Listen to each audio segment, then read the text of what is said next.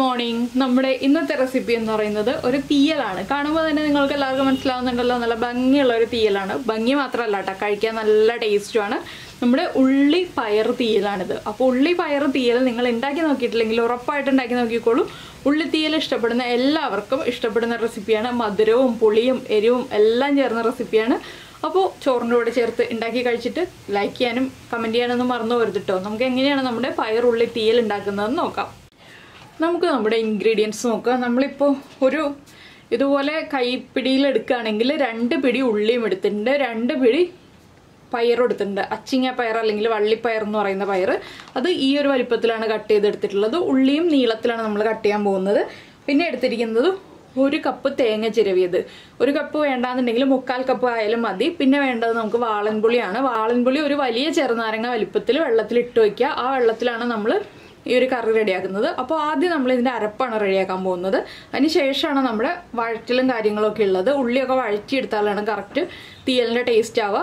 അപ്പോൾ ഞാൻ ഈ തേങ്ങ ഒന്ന് വറുത്തെടുക്കാൻ പോവാണ്. തേങ്ങ വറുക്കുമ്പോൾ ഇതിലേക്ക് കുറച്ച് കാര്യങ്ങളൊക്കെ ചേർത്തിട്ടാണ് വറുക്കേണ്ടത്. അപ്പോൾ ഇതിൽ എന്തൊക്കെയാണ് ചേർക്കേണ്ടതെന്ന് നോക്കാം. അപ്പോൾ നമ്മളൊരു പാൻ വെച്ചിട്ടുണ്ട് തേങ്ങ വറുക്കാനായിട്ട്. അതിലേക്ക് നമ്മൾ എടുത്തു വെച്ചിരിക്കുന്ന തേങ്ങ ചേർത്ത് കൊടുക്കുക ഇതിലേക്ക് ഒരു നാലഞ്ച് ഇതിൽ കറിവേപ്പില ചേർക്കാം. അതുപോലെ തന്നെ നിങ്ങൾക്ക് വറ്റൽമുളക് മല്ലിയൊക്കെ മുഴുവനായിട്ട് ചേർക്കണം എന്നുണ്ടെങ്കിൽ ചേർക്കാം. ഞാനിപ്പോൾ വറ്റൽമുളകും മല്ലിയൊന്നും മുഴുവനായിട്ടല്ല ചേർക്കുന്നത്. പൊടികളാണ് ചേർക്കുന്നത്. ഒരു മുക്കാൽ ടീസ്പൂൺ ഉലുവ. അതുപോലെ തന്നെ അര ടീസ്പൂൺ ക്യൂമിൻ സീഡ്സ് നമ്മുടെ ചെറിയ ജീരകം. ഇത്രയും ചേർത്തിട്ട് തേങ്ങയൊന്ന് വറുത്ത് എടുക്കണം. കുറച്ച് വെളിച്ചെണ്ണ വേണമെങ്കിൽ ചേർക്കാം കേട്ടോ നമ്മളിപ്പോൾ നോൺ സ്റ്റിക്കിന്റെ പാനിൽ വറക്കുന്നതുകൊണ്ട് ഞാൻ ഇപ്പോൾ വെളിച്ചെണ്ണ ചേർക്കുന്നില്ല. കുറച്ച് കഴിയുമ്പോൾ കുറച്ച് വെളിച്ചെണ്ണ ചേർക്കും. അപ്പോൾ നിങ്ങൾക്ക് ഇപ്പോഴേ വെളിച്ചെണ്ണ ചേർക്കണം എന്നുണ്ടെങ്കിൽ ചേർക്കാം. ഞാനിപ്പോൾ ചേർക്കുന്നില്ല. ഈ തേങ്ങയുടെ കളറൊന്ന് മാറി വന്നിട്ട് വെളിച്ചെണ്ണ ചേർക്കുള്ളൂ. അപ്പോൾ ഇത് ഇളക്കി കൊടുത്ത് തേങ്ങയുടെ കളറൊന്ന് മാറി വരുന്നത് വരെ നമുക്ക് വെയിറ്റ് ചെയ്യാം.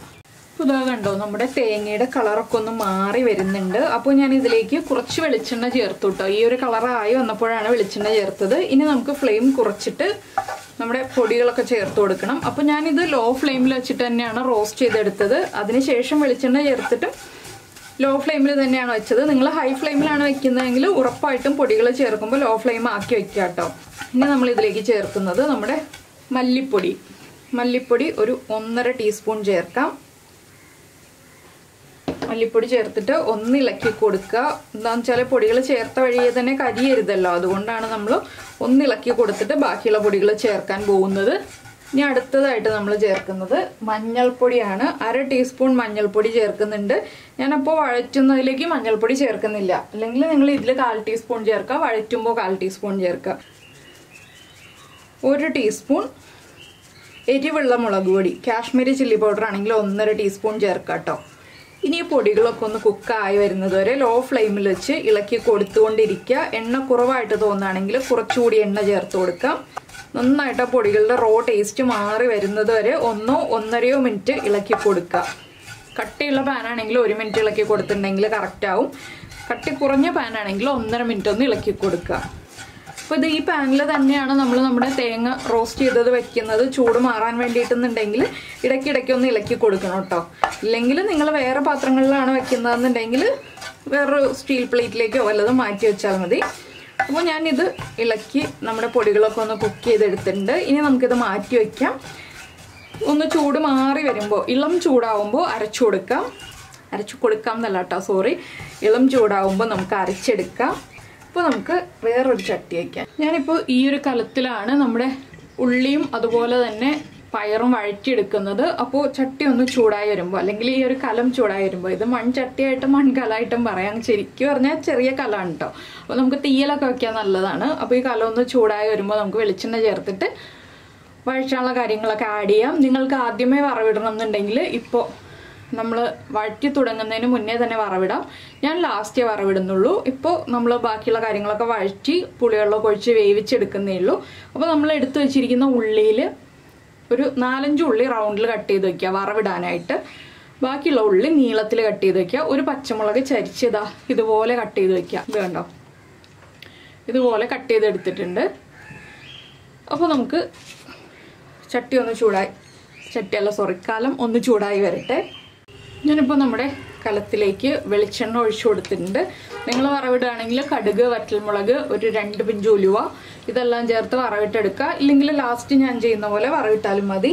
അപ്പോൾ നമ്മുടെ തേങ്ങ വറുത്തത് ഇവിടെ ഇരിക്കുന്നുണ്ട്. അത് ഞാൻ ഇടയ്ക്ക് ഇളക്കി കൊടുക്കുന്നുണ്ട്. ഇനി നമുക്ക് ഈ എണ്ണയിലേക്ക് നമ്മൾ കട്ട് ചെയ്ത് വെച്ചിരിക്കുന്ന ഉള്ളി പച്ചമുളകൊക്കെ ചേർക്കാം. ഇത് സോളയിൽ ചെയ്യുകയാണെങ്കിൽ അങ്ങനെ ടേസ്റ്റ് ഉണ്ടാവില്ല കേട്ടോ. ഉള്ളിയിൽ തന്നെ ചെയ്യണം. പിന്നെ കുറച്ച് കറിവേപ്പിലയും ചേർക്കുന്നുണ്ട്. ഇനി ഇതൊന്ന് നന്നായിട്ട് വഴറ്റിയെടുക്കണം. കുറച്ച് ഉപ്പും ചേർത്ത് നന്നായിട്ട് കളർ മാറി വരുന്നത് വരെ ഇളക്കി കൊടുക്കണം. അപ്പോൾ നമ്മുടെ ഉള്ളിയിലേക്ക് ഇനി നമുക്ക് കുറച്ച് ഉപ്പ് ചേർക്കാം. നിങ്ങൾ തേങ്ങയിലേക്ക് മഞ്ഞൾപ്പൊടി ചേർത്തിട്ടില്ല എന്നുണ്ടെങ്കിൽ ഈ ഒരു സമയത്താണ് നമുക്ക് മഞ്ഞൾപ്പൊടിയും ഉള്ളിയിലേക്ക് ചേർത്ത് കൊടുക്കേണ്ടത്. അപ്പോൾ ഞാൻ തേങ്ങയിലേക്ക് മഞ്ഞൾപ്പൊടി ചേർത്തുകൊണ്ട് ഇനിയിപ്പോൾ മഞ്ഞൾപ്പൊടി ഒന്നും ചേർക്കുന്നില്ല. ഈ ഉള്ളി ഒന്ന് നന്നായിട്ട് വഴറ്റിയെടുക്കുന്നേ ഉള്ളൂ ഇതൊന്ന് പകുതി കുക്കായി വരുമ്പോൾ നമുക്കിതിലേക്ക് നമ്മുടെ പയറ് ചേർത്ത് കൊടുക്കാം. പയറൊക്കെ ഈ ഒരു വഴച്ചലിൽ പകുതി കുക്കായി വരും. അത് കഴിഞ്ഞിട്ട് പിന്നെ ബാക്കിയുള്ളത് നമ്മുടെ പുളിവെള്ളത്തിൽ കിടന്ന് കുക്കായിക്കോളും. അപ്പോൾ ഈ കലം എനിക്ക് ഭയങ്കര ഇഷ്ടമായിട്ട് മനസ്സിലാണ് കേട്ടോ കുഞ്ഞ് കലം. നമുക്ക് തീയൽ വയ്ക്കാം രസം വയ്ക്കാം സാമ്പാർ വയ്ക്കാം അങ്ങനെയുള്ള റെസിപ്പികൾക്കൊക്കെ വളരെ നല്ലതാണ്. നമ്മൾ വേറെ പാത്രത്തിലേക്ക് മാറ്റി വയ്ക്കേണ്ട ആവശ്യമൊന്നുമില്ല. കറി ഉണ്ടാക്കിയിട്ട് ഇതിൽ തന്നെ വെച്ചിട്ട് നമുക്ക് ഇന്നും നാളെയും ഒക്കെ ഉപയോഗിക്കാം. രണ്ട് ദിവസത്തേക്ക് ഉപയോഗിക്കാൻ പറ്റിയ റെസിപ്പിയാണിത്.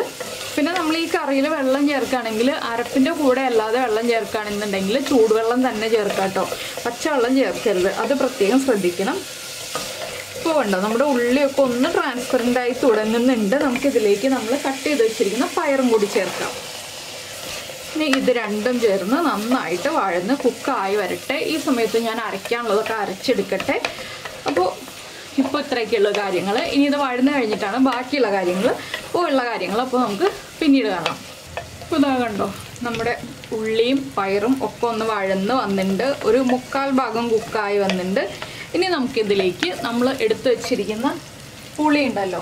ആ പുളി വെള്ളത്തിൽ മിക്സ് ചെയ്ത് നന്നായിട്ട് മിക്സ് ചെയ്തെടുത്തിട്ട് അതൊന്ന് അരിച്ച് ചേർക്കാം. ഇനി ഈ പുളിവെള്ളത്തിൽ കിടന്ന് നമ്മുടെ പയറും അതുപോലെ തന്നെ ഉള്ളിയും ഒന്ന് കുക്കാവട്ടെ ബാക്കിയുള്ള കുക്കിംഗ് പുളിവെള്ളത്തിൽ കിടന്നിട്ടാണ്. അപ്പോൾ ഉപ്പ് കുറവാണെങ്കിൽ ഇപ്പോൾ ഉപ്പ് ചേർത്ത് കൊടുക്കാം കേട്ടോ. ഏത് സ്റ്റേജിൽ വേണമെങ്കിലും ഈ ഒരു തീയലിലേക്ക് ഉപ്പ് ചേർത്ത് കൊടുക്കാം. ഇപ്പോൾ ചേർക്കാം. നമ്മൾ അരപ്പ് ചേർത്ത് കഴിഞ്ഞിട്ട് അപ്പോൾ ചേർക്കണം എന്നുണ്ടെങ്കിൽ അപ്പോൾ ചേർക്കാം. അപ്പോൾ ഇതൊന്ന് തിളച്ച് കുക്കായി വരുന്നത് വരെ ഇനി നമുക്ക് വെയിറ്റ് ചെയ്യാം. ഞാനിപ്പോൾ അരച്ചുകൊണ്ടിരിക്കുകയാണ് വെള്ളം ചേർക്കാതെയാണ് തേങ്ങ അരച്ചെടുക്കുന്നത്. അപ്പോൾ നിങ്ങൾക്ക് വെള്ളം ചേർത്ത് അരയ്ക്കണം എന്നുണ്ടെങ്കിൽ വെള്ളം ചേർത്ത് അരച്ചെടുക്കാം. അല്ലെങ്കിൽ വെള്ളം ചേർക്കാതെ തേങ്ങ അരയ്ക്കുന്നുണ്ടെങ്കിൽ അങ്ങനെ അരച്ചെടുക്കാം. ഇതിനി ഒന്ന് നന്നായിട്ട് തിളച്ച് വരട്ടെ. ഒരു തിളച്ച് കഴിഞ്ഞിട്ടൊരു മൂന്ന് മിനിറ്റും കൂടെ ഒന്ന് നന്നായിട്ട് വെട്ടി തിളയ്ക്കണം. അത്രയും സമയം നമുക്ക് വെയിറ്റ് ചെയ്യാം. അപ്പോൾ നമ്മുടെ പുളി ചേർത്ത് കഴിഞ്ഞിട്ട് നന്നായിട്ട് തിളയ്ക്കുന്നുണ്ട്. ഇനി നമുക്കിതിലേക്ക് അരപ്പ് ചേർക്കാം. അരപ്പ് ദാ ഞാൻ ഇതുപോലെ അരച്ചെടുത്തിട്ടുണ്ട്. ഇത് നമ്മൾ അരയ്ക്കുമ്പോൾ ഒരു വുഡൻ സ്പൂൺ എടുത്ത് വെച്ചിട്ട് ഇളക്കി കൊടുക്കുകയാണെങ്കിൽ നമ്മുടെ മിക്സിയിൽ സ്ക്രാച്ച് ഒന്നും വീഴാതെ നമുക്ക് നന്നായിട്ട് അരച്ചെടുക്കാൻ പറ്റും കേട്ടോ അപ്പോൾ ഇനി അരപ്പ് നമ്മുടെ പയറിലേക്കും ഉള്ളിയിലേക്കും ഒക്കെ ചേർത്ത് കൊടുക്കാം. നിങ്ങൾക്ക് എത്രത്തോളം ഗ്രേവി വേണം എന്നുള്ളതനുസരിച്ച് ഇപ്പോൾ വെള്ളം ചേർക്കണം. അല്ലെങ്കിൽ പിന്നീട് ചൂടുവെള്ളം ചേർത്ത് ലൂസാക്കി എടുക്കണം. ഞാനിത് ഒരുപാട് ഗ്രേവി ഉള്ള ഒരു തീയലായിട്ടല്ല വയ്ക്കുന്നത് ചെറുതായിട്ടൊന്ന് കുറുകിയിരിക്കുന്ന ഒരു തീയലായിട്ടാണ്. അപ്പോൾ ഗ്രേവിയുടെ അളവൊക്കെ നമ്മുടെ ഇഷ്ടമാണ് കേട്ടോ ഇത്ര ഗ്രേവി വേണം അല്ലെങ്കിൽ ഇത്ര ഗ്രേവി വേണ്ട എന്നുള്ളതൊക്കെ. അപ്പോൾ ഞാനിതിലേക്ക് കുറച്ച് വെള്ളം ചേർക്കുന്നുണ്ട്. എന്താണെന്ന് വെച്ചാൽ ഇപ്പോൾ നല്ല കട്ടി തീയലായി കഴിഞ്ഞു. അപ്പോൾ കുറച്ച് വെള്ളം ചേർത്ത് നമുക്ക് ഒന്ന് ലൂസാക്കാം. ഈ മിക്സിയുടെ ജാറിലേക്ക് തന്നെ വെള്ളം ചേർക്കാം. ഇനി ഇതൊന്ന് തിളച്ച് വരട്ടെ. ഇതിലേക്ക് നമുക്ക് ശർക്കര ചേർത്ത് കൊടുക്കണം. ഈ തീയലിൽ ശർക്കര മസ്റ്റാണ് കേട്ടോ ശർക്കര ചേർത്താലേ ടേസ്റ്റ് കറക്റ്റ് ആവുള്ളൂ. പഞ്ചസാര ചേർത്താൽ പെർഫെക്റ്റ് ആവില്ല. മധുരം ചേർത്താലേ തീയൽ പെർഫെക്റ്റ് ആവുള്ളൂ. അങ്ങനെ ഒരു കാര്യമുണ്ട് അപ്പോൾ ഞാൻ കുറച്ച് ശർക്കരയും കൂടി ചേർത്ത് കൊടുക്കട്ടെ. തീയൽ നന്നായിട്ട് തിളച്ച് വരട്ടെ. ഇതാ ഇത്രയും ശർക്കര ചേർക്കുന്നുണ്ട് കേട്ടോ ചെറിയൊരളവിൽ മതി. ആ ഒരു ശർക്കരയും കൂടി ചേർന്നുണ്ടെങ്കിൽ നന്നായിട്ട് ആ ശർക്കരയുടെ മധുരവും കൂടി നമ്മുടെ ഉള്ളിയിലേക്കും പയറിലേക്കും ഒക്കെ പിടിച്ചു വന്നോളും.